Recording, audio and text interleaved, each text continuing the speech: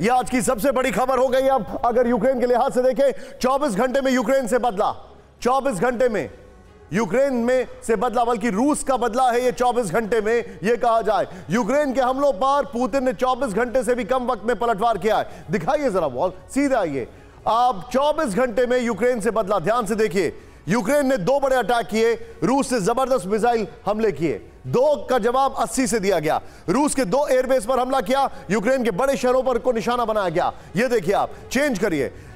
Angels airbase पर हमला हुआ कीव खारकीव खेरसौन ओडिशा पर हमला किया जवाब में। यह देखिए नेक्स्ट देखिए आप, जो हमारे पास इंफॉर्मेशन है, आप यहाँ पर एक और एयरबेस पर हमला किया गया।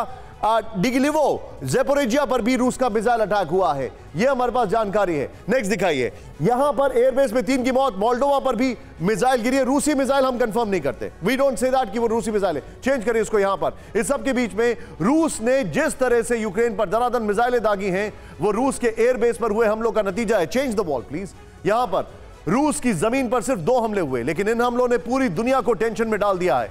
पुतिन ने यूक्रेन पर 80 मिसाइलें दागकर सिर्फ़ ट्रेलर दिखाया है।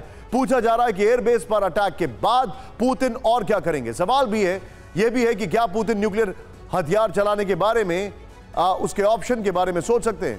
पुतिन गुस्से में क्यों है? पूरी रिपोर्ट देखिए रूस के अंदर ड्रोन अटैक रूसी एयरबेस पर ज़बरदस्त हमला। यूक्रेन बॉर्डर से 700 किलोमीटर दूर रूस पर अटैक 5 दिसंबर 2022 ये वो तारीख है जब रूस के अंदर एक साथ दो बड़े धमाके हुए।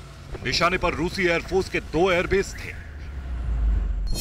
पहला अटैक रूस के सारातोव रीजन में स्थित इंजल्स एयरबेस पर हुआ। रिपोर्ट्स हैं कि इंजल्स एयरबेस में एयरफील्ड को ड्रोन से टारगेट किया गया। धमाका बहुत ज़बरदस्त था।